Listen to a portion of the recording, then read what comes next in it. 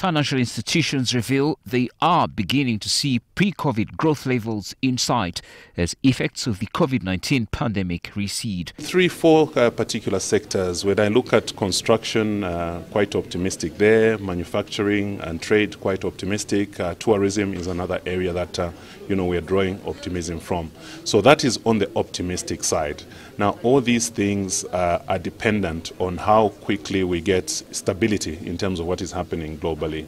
Uh, the, the, the Russia-Ukraine war is, I think, something that is top of everyone's mind. Uh, they are the largest producers of wheat, oil and gas uh, in the world. Thanks and looking ahead after being hurt by bad loan ratios in 2021 as businesses aim to regain normality.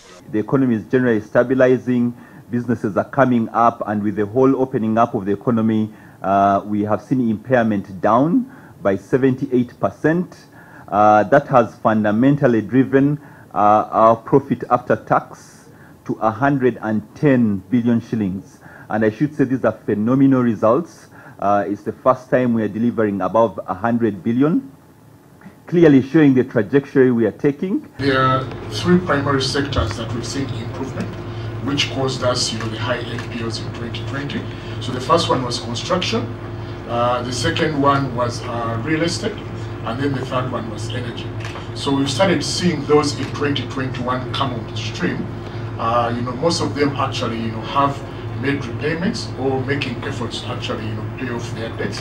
Absa Bank posted a 15.4% growth in revenue from 316 billion in 2020 to 365 billion shillings in 2021.